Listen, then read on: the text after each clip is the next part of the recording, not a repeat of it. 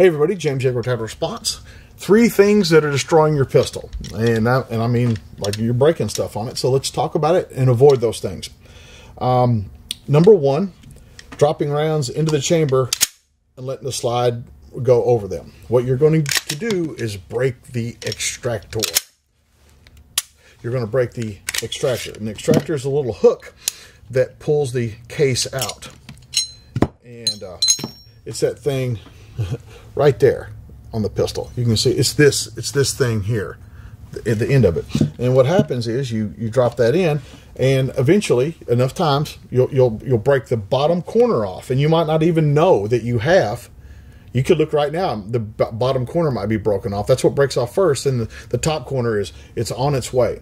Um, so don't don't do the repetitive uh, thing where you where you drop it in drop it. All the all guns should be loaded from the magazine. Put the magazine and loaded that way, where it comes up under the extractor and goes forward.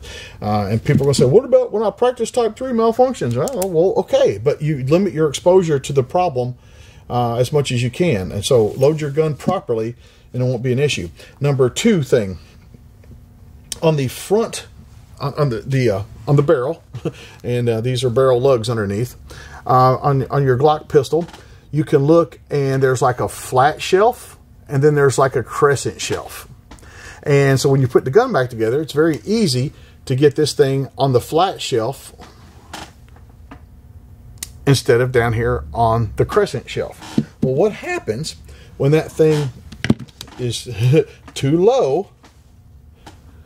It hits, comes back here and hits this, and breaks this off or breaks the bottom of. So if you're if you're if you look at the back of your recoil spring and it's chipped up and cracked or or half of it's broken off, that's what you've done is you haven't gotten it down uh, low enough on there to uh, uh, to cl to clear the um, the block, and you're breaking, you're you're destroying your gun, uh, at least a recoil spring. And the third thing is over lubrication. I'm going to say it. I'm going to keep saying it.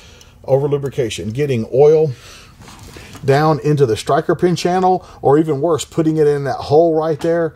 Uh, that's directly into the striker pin channel. Um, what happens is, immediately is there can be a hydraulic resistance that slows the um, striker down. But the, the real problem is long term after you shoot the gun, shoot the gun, shoot the gun, uh, and the crud builds up, the unburnt gases and powders and carbons and dust and all that stuff.